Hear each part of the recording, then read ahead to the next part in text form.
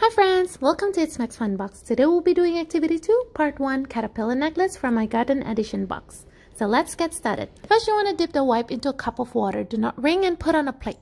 Pour the green starch into a bowl, lightly dab a cotton ball on the wipe. Make sure the surface is damp, not soaked. Dab the damp cotton ball into the green starch. Observe how the shade of green changes. String the green cotton ball into the string, followed by a red circle. Repeat steps 3 to 5 until no cotton balls and circles are left.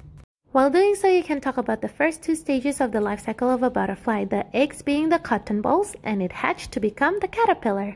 You can also sing together with your child the Hungry Caterpillar song and watch it grow bigger as it keeps on munching and munching. This month's activity's aim is to learn on the number 5, so you can ask your child to count the red circles and the green cotton balls and count to 5.